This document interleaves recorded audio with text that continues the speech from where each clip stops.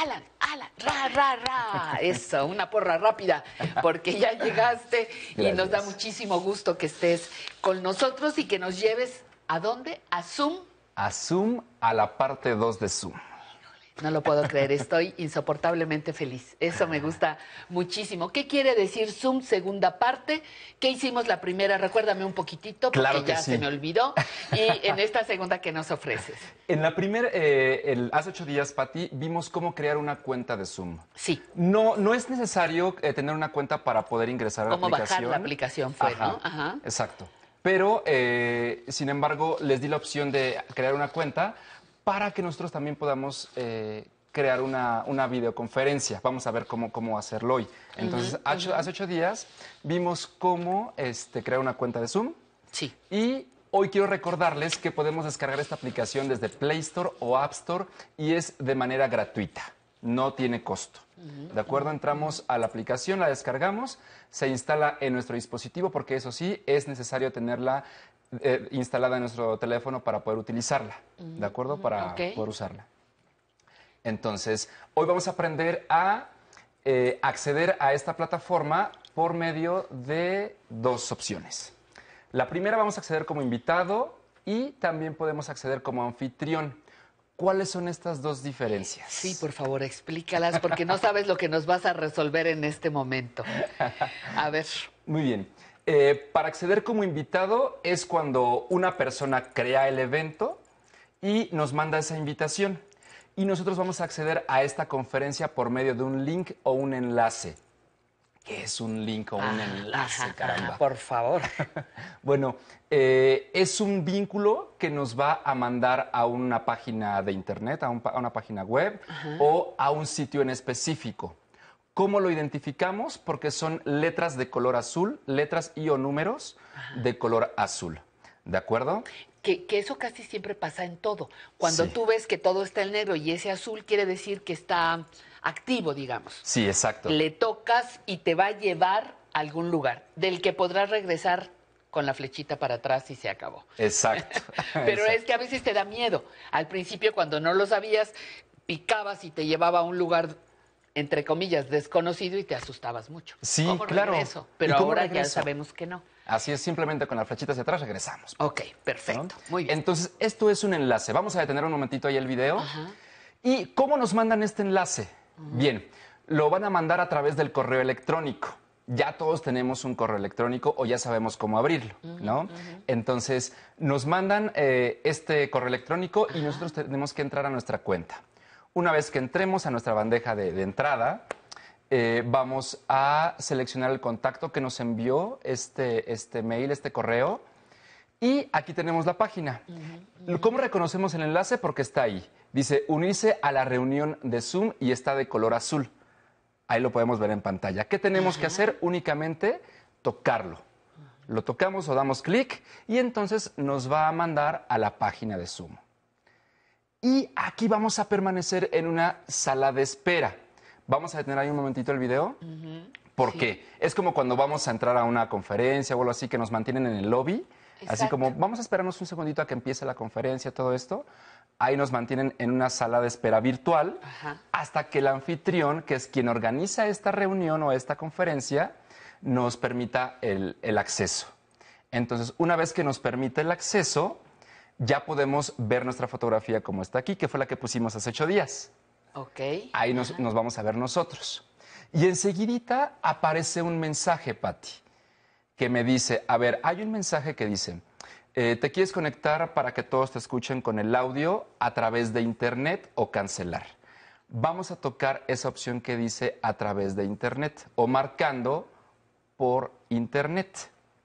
Ok, porque ahorita estaba la de la de favor de esperar a que el anfitrión le dé entrada. Bueno, esa ya pasó. Ajá. Y ahorita para escuchar a los demás, conectar el audio. Exacto, aquí nos vamos a conectar con el audio. Dice marcar utilizando, el internet. internet. Entonces, ahí Entonces- le pico. Sí, si yo no toco esa opción, no me van a escuchar. Eso es súper importante. Entonces tenemos que tocar esa opción, marcar utilizando Internet. Y ya entro entonces a la conferencia. Ahí detenemos el video y eh, la foto que aparece ahí en pantalla es de la otra persona, no es la mía. es de la otra persona. Entonces ahí estoy viendo a la otra persona y en la parte inferior de la pantalla está el control de mando. Ahí abajo a la izquierda eh, dice micrófono, después dice cámara de video y estas dos son las más importantes, Pati. ¿Por qué? Porque si está el microfonito. Si yo observo que tiene una diagonal el micrófono, significa que no me pueden escuchar. Aunque yo hable, las otras personas en la conferencia no me pueden escuchar. Micrófono cerrado. Cerrado. Entonces, ¿qué tengo que hacer para activarlo? Únicamente tocarlo. Y voy a observar que desaparece esa rayita.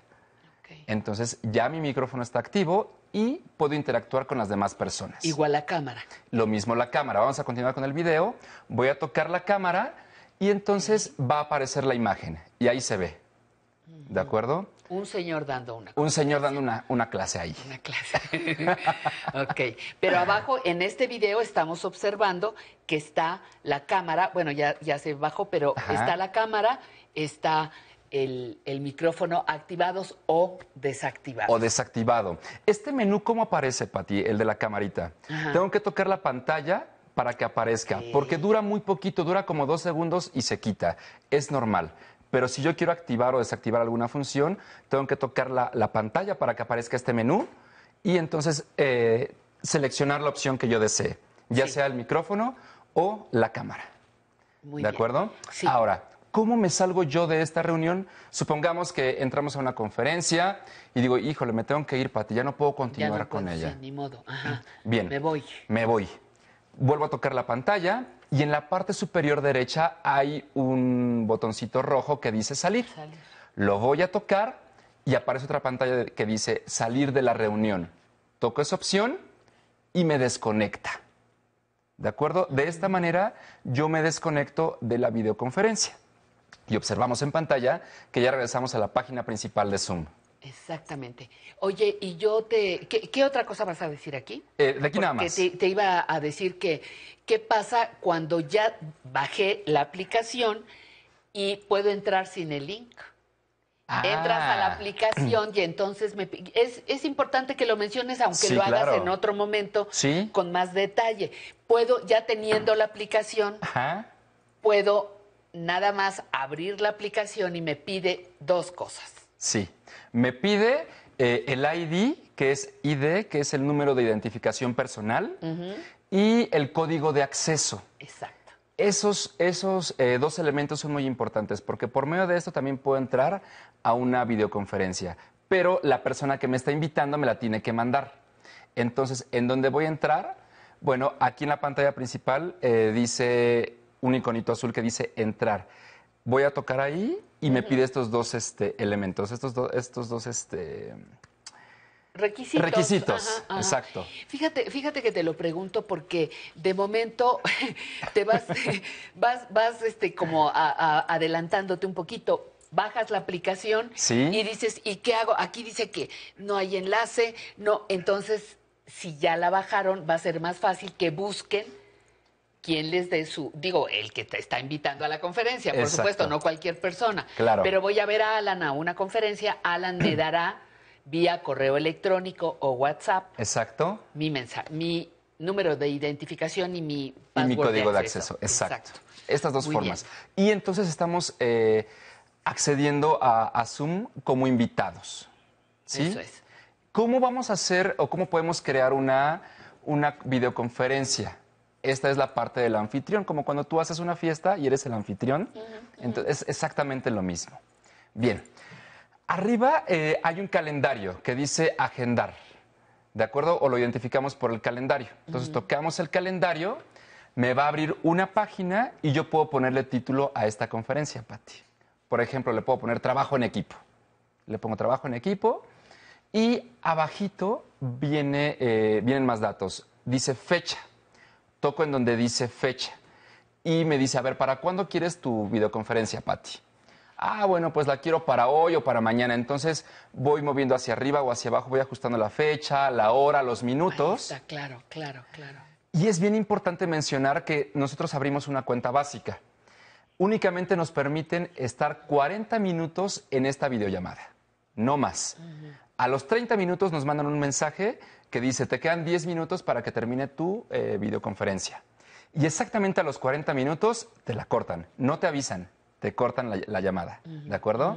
Entonces hay que ajustar nuestros tiempos. Una vez que ya ingresamos la fecha y, y la hora, eh, tocamos en la parte superior donde dice listo o donde dice guardar y entonces ya, ya quedó agendado el evento, ya quedó ahí guardado. ¿Cómo vamos a invitar a nuestros amigos, Pati? Aquí lo estamos viendo en pantalla, mira. Sí, Podemos mover estamos, hacia arriba, Puedes mover el, el, ajá, hacia arriba y hacia abajo y ahí ajustamos la fecha. el horario y la fecha. Ajá. ¿Listo? ¿Cómo podemos invitar a nuestros amigos, Pati? Pues, ¿cómo? Pues cómo, ya que guardamos nuestro evento, Ajá. nos abre esta página y dice arriba añadir. Voy a tocar en donde dice añadir. Esto es para confirmar únicamente la información, esta página. Y eh, voy a abrir nuevamente mi evento. ¿Cómo lo abro? Vamos a esperar a que aquí está la página. Aquí. Dice trabajo en equipo. Toco en donde dice trabajo en equipo para ya que está me el abra. título, ya está, ajá, Ya está el evento creado el ahí. evento, ajá. Y entonces eh, toco en donde dice trabajo en equipo nuevamente. Y en la parte inferior dice agregar invitados. Ah, toco ahí. Ajá. Y me pregunta, ¿cómo los quieres invitar, Alan? A través de correo electrónico, a través, me da varias opciones, varias opciones. Entonces, yo voy a tocar la que dice enviar un email o un correo electrónico. Toco Email, enviar email, mensaje. que es lo mismo, y de inmediato me abre mi correo electrónico. Por eso son inteligentes. Ya me manda a mi, a mi correo electrónico y me dice, ¿para quién? Ah, bueno, entonces en donde dice para voy a tocar, aparece el teclado y voy a escribir el nombre de la persona que yo quiero. En este caso, otro Alan Calvo. Ajá. Y lo hace como, como correos. Puedo, o sea, mencio- pongo todos los nombres que quiera en mi correo. Todos los nombres que tú quieras. Le das espacio y escribes el siguiente nombre. Espacio y el siguiente nombre. O abajo, en donde dice CCC, vas escribiendo este, los demás correos electrónicos. Envías esta invitación y así es como te llega el link o el enlace. Claro, claro, que es lo pico y yo ya entro. Exacto. Le Sin pico y yo ya problema. entro. Exacto. O puedo compartir, como dices, el código de acceso y el ID eh, personal con mis contactos. ¿De acuerdo? Sí, me, me- yo sé que esto para algunas personas va a decir, yo me perdí eh, después de la fecha, ya no entendí, o después de la hora, etcétera.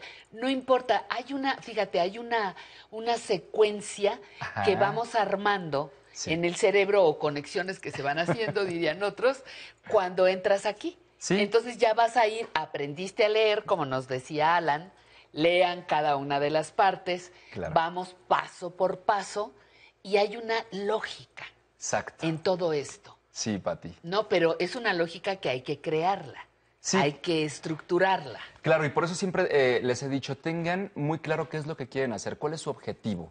¿Por qué? Porque en este inter nos perdemos un poquito cuando vemos demasiada información. Pero si yo tengo claro qué es lo que yo quiero hacer, entonces voy leyendo las opciones que me da el teléfono y voy seleccionando la que quiero, Exactamente. ¿no? No, pues excelente, excelente, Alan. Es. Bueno, ya vamos a ir viendo cosas por cosas, pero fíjate, me puedo eh, reunir para una junta. Sí, para una junta. Una junta con el equipo de trabajo, como lo, lo hacíamos nosotros en, en, este, en otros momentos. Puedo hacerlo para dar una conferencia. Puedo hacerlo para dar clase. Exacto. Muchos, muchos eh, maestros están tomando clases así Las ahora. escuelas así lo hacen ahora. Las escuelas lo están haciendo así. Zoom es el más, el más eh, demandado, digamos. Sí, el es un- más eh, frecuente. Es uno de los más utilizados, así es. Hay varias aplicaciones. Pero son variaciones sobre Mm. el mismo tema, digamos. Sí, sí, sí, sí, son, son variaciones, exacto. Pero Zoom es la que más se utiliza actualmente para poder hacer alguna videollamada o videoconferencia.